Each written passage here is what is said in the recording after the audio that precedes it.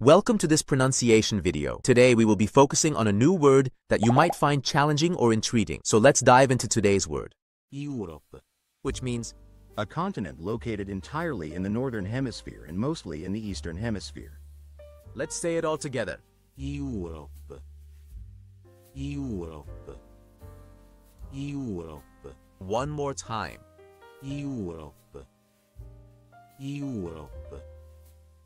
Europe. Thank you for joining us on this adventure in pronunciation. Remember, language is a journey, not a destination. Keep exploring, experimenting, and expanding your linguistic horizons. We'll see you next time.